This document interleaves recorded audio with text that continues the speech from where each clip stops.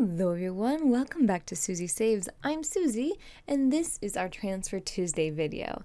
If you are new to these videos, I do a lot of my cash stuffing physically with bills in my hand. You can see me put into binders, and our Transfer Tuesdays are when we talk about the money that you don't see.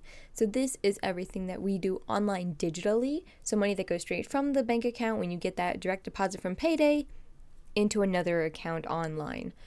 Um, currently, I've been working on filling up my Roth IRA for the 2024 year, and so that is what we will be focusing on today. Here is my account. Uh, we are just shy of $22,000. We've been jumping back and forth between over and under because that is the market. Um, and so we're just going to go down the list and see where everything is at. So let's go ahead and do that. So for cash, we only have $6, which is perfect. I always want this mon- this number to be pretty low uh, because the cash in there doesn't grow with the market. VOX has 2200, Tesla 900, IVV, that's the iShares S&P 500 is at 27. The Freedom Fidelity Fund, this is supposed to be a retirement fund, so it's supposed to get uh, more conservative over time. So right now it should be pretty risky, I would think. Uh, it's at 2,500. VOO is the Vanguard S&P 500.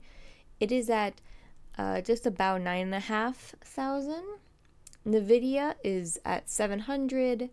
VDC, that's the consumer stock, is at about 1500.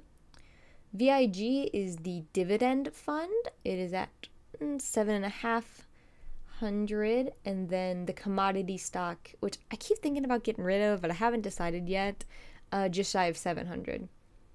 And then Coke is at four hundred and fifty, and that equals our just shy of twenty two thousand there.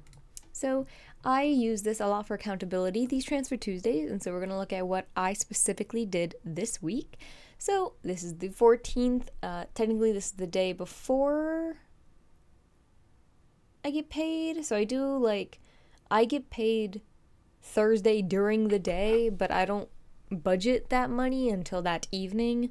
Uh, so I don't spend any of that money before I budget it, but I did spend this. It's $160 this week into the Roth because I had some extra money. Um, I don't remember where that extra money came from. Um, so something probably just cost a little bit less this week, and so I put it in here. So $160 contribution on the 14th there. I bought three things. I bought VOO, the Vanguard S&P 500, VIG, the dividend stock, and then Coca-Cola. So I got 50 of the VOO and 50 of the uh, dividend stock, and then $60 of Coke. And that's my 160 bucks I put in this week. Uh, this is my number one priority right now, though I do want to start looking at putting more money into the CDs again, trying to make kind of a CD ladder um, for emergencies, and then filling up that cash management account that has been slowly growing on the screen. Um, but I do want to put some money into there because the next thing that we'll be saving for is either a new car or a home down payment.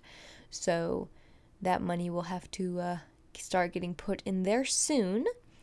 But uh, today, probably as you are listening to this, I have a interview with the new position that I'm trying to get. So wish me luck. I'm super nervous about it. Um, but uh, by the time you're watching this, I will be mid interview. So wish me luck and I will see you all in the next one.